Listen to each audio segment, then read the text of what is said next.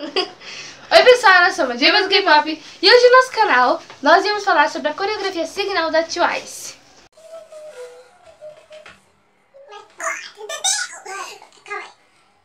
Porque a gente achou que o espaço da coreografia estava um pouco limitado e acabou não ficando tão bom. Então a gente vai refazer um lugar melhor, bem alegre. A coreografia tem um A bem grandão aqui na minha mão. Aqui também.